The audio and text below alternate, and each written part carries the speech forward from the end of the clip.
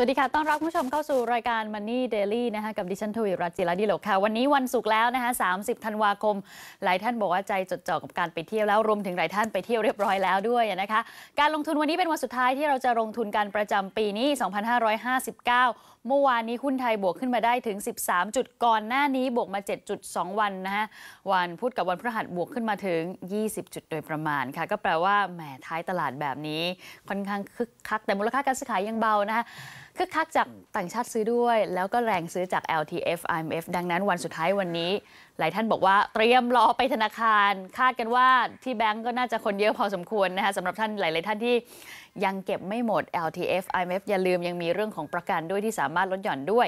และก็ยังมีมาตรการช็อปช่วยชาติท่านไหน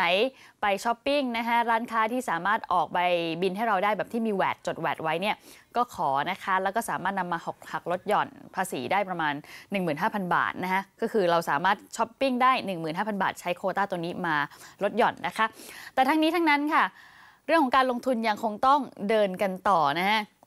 เมื่อวานนี้ตลาดหุ้นทั่วโลกเป็นยังไง ก็จะส่งเซนติเมนต์มาบ้านเราวันนี้ แต่ดูเหมือนว่าการซื้อขายก็จะค่อนข้างเบาบางกันทั่วโลก เพราะเตรียมเที่ยวกันแล้ว เตรียมหยุดพักผ่อนกัน อย่างเมื่อคืนนี้อเมริกาก็มีตัวเลขเศรษฐกิจดีๆออกมานะฮะอย่างตัวเลขผู้ว่างงานนะฮะผู้ขอรับสวัสดิการการว่างงาน ปรากฏว่าปรับตัวลดลงนะคะ เป็นตัวเลขที่ดี แต่ปรากฏว่านักลงทุนที่อเมริกาเขามีการปรับ position กันค่ะ ก่อนที่จะหยุดยาวๆกันไป ก็เทขาย กอดเงินกันไว้ก่อนนะคะก็เลยทำให้ตลาดหุ้นของอเมริกาลงไปนะปรับย่อลงไป ขณะที่ยุโรปบวกมาติดต่อกัน 4 วันทำการ เมื่อวานนี้ลดลงเป็นวันแรกนะคะ ก็เนื่องมาจากความวิตกกังวลที่มีเรื่อยมา เกี่ยวกับแบงก์ยักษ์ใหญ่อันดับ 3 ของอิตาลีนะคะ ที่เขาต้องมีการระดมทุนเพิ่มนะฮะความไม่ชัดเจนความไม่แน่นอนของแบงก์อันนี้เนี่ยก็ทำให้วันนี้กลายเป็นว่าประเด็นที่ยังพอจะบวกๆอยู่ของยุโรปมันหายไปนะฮะ ประเด็นนี้ก็ขึ้นมาเป็นอันดับหนึ่งแทน วันนี้หุ้นยุโรป ก็ปรับตัวลดลงนะคะนำโดยกลุ่มแบงก์นี่แหละที่ดึงลงไป ทองคำเป็นยังไงกันบ้างนะคะ ต้องบอกว่าช่วงนี้สกุลดอลลาร์สหรัฐเนี่ยปรับตัวย่อลงมานะคะ พอดอลลาร์สหรัฐย่อลงมา แปลว่าทองคำซึ่งอยู่ตรงข้ามกับดอลลาร์สหรัฐก็บวกขึ้นมา 2-3 สัปดาห์ก่อนหน้านี้ราคาทองคำร่วงลงเรื่อยมานะฮะไปต่ำที่ประมาณ 1,120 กว่าๆหลายคนอกตกใจ เอ๊เราจะเห็นต่ำกว่า 1,120 เหรียญหรือเปล่านะฮะสรุปว่ามันก็เด้งขึ้นมานะคะเมื่อคืนนี้ทองคำบวกค่ะ แล้วก็ตอนนี้มาอยู่ที่ 1,158 เหรียญแล้วด้วยนะฮะ หลายท่านบอกโอ้ แหมทองคำใครซื้อไว้ก่อนหน้านี้ช่วงที่ลงช่วงนี้ก็พอจะกำไรกันบ้างนะฮะน้ำมันเป็นยังไงกันบ้างนะคะ ก็ดูเหมือนว่าตัวเลขจาก EIA แล้วก็ API สถาบันปิโตรเลียมนะคะของอเมริกา 2 แห่งเนี่ยเขาออกมาบอกว่าสต็อกน้ำมันดิบของอเมริกาปรับตัวเพิ่มขึ้น สต็อกเพิ่มขึ้นแปลว่าสินค้าเราเยอะขึ้น ราคามันก็เลยถูกดึงลงมานะฮะเพราะว่าอุปทานมากมากกว่าตัวที่อุปสงค์เขามองกันนะฮะอัตราแลกเปลี่ยนนะคะ ตอนนี้ 35 บาท 79 สตางค์ถึง 35 บาท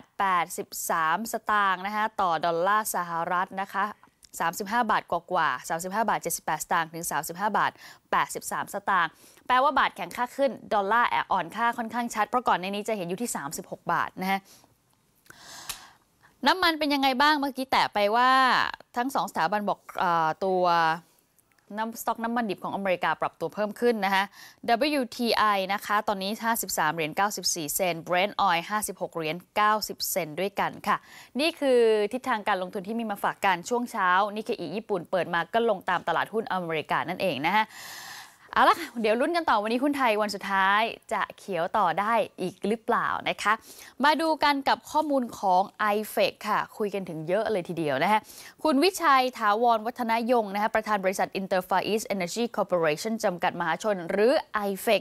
เปิดเผยค่ะ จากข่าวบริษัทผิดนัดชำระหนี้ตั๋ว BE ต่อบริษัทหลักทรัพย์จัดการกองทุน Land and House จำนวน 100 ล้านบาทนั้น ขอชี้แจง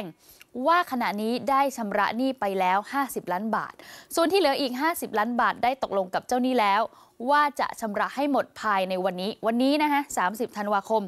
ซึ่งท่านบอกอย่างนี้ค่ะ ความจริงเราได้เตรียมการจ่ายไว้ตั้งแต่ 15 พฤศจิกายนที่ผ่านมา แต่ติดปัญหาผู้บริหารเดิมลาออก และยังให้ข่าวโจมตีบริษัทตลอดเวลา กระทั่งล่าสุดตนเองได้ใช้เครดิตส่วนตัว หาเงินมาชำระส่วนที่เหลือ 50 ล้านบาทเป็นที่เรียบร้อยแล้ว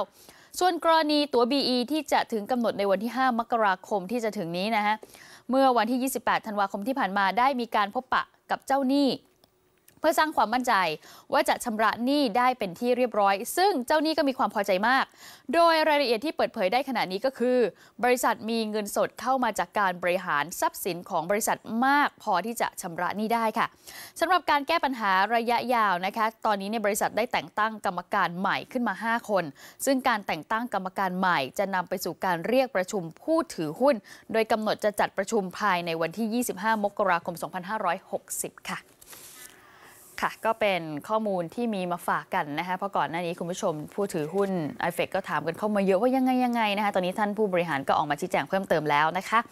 มาดูกันต่อสำหรับผลิตภัณฑ์ทางด้านการเงินที่น่าสนใจนะคะวันนี้มีมาจาก Union Pay International นะคะกับไทยวิวัฒน์มอบประกันการเดินทางรายละเอียดเป็นยังไงติดตามกันค่ะ